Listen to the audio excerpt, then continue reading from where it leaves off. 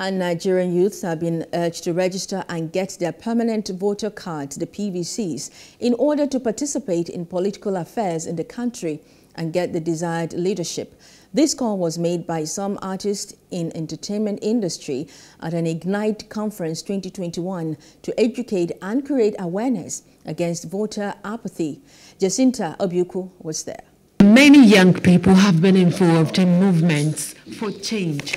They are taking to the streets and using online social networks and communities to connect. But that's not enough without their PVCs and involvement in politics to drive the actual change.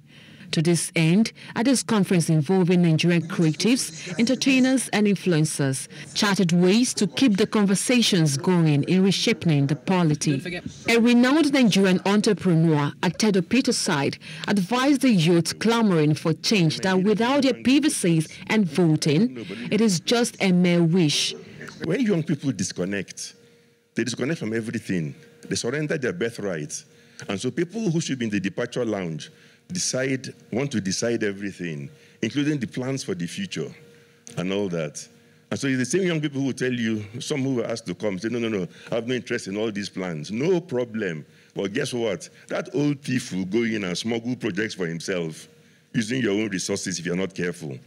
I don't want to live anywhere else. I've lived there. It's not great. It's, it's good for them, but A, it's cold and it's just not home. The food, the music, I mean, it's just not home. So I think it's, it's up to us, a few of us, to build this country so that the rest can come and join us. Increasingly in Nigeria, the space of citizens' voices and, and their interface with the government is threatened. All of us are politicians without joining a political party. And I think it's important that we all understand our role in politics and governance. I believe that voter turnout is declining in Nigeria, especially among the youths.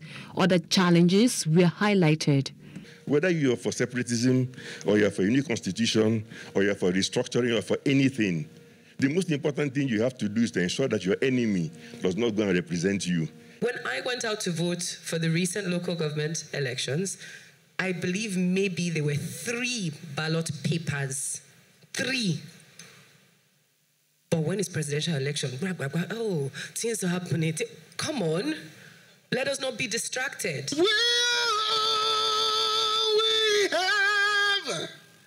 will defend. The role of creative industry cannot be overemphasized in getting the young ones to focus on setting their priorities right. The thing with intellectuals is we, we talk a lot and we do not make effort. And the, then we end up allowing the riffraffs to get into power and make policies that we have to follow. Like we're talking about changing Nigeria. Hey, step one is young people go and get your your, your accreditation so you can vote. The thrust here is that there is need for young people to do enough in registering, collecting their PVCs, and coming out in mass during elections. Jacinta Obiuku for Plus TV Africa. Hello. Hope you enjoyed the news. Please do subscribe to our YouTube channel and don't forget to hit the notification button so you get notified about fresh news updates.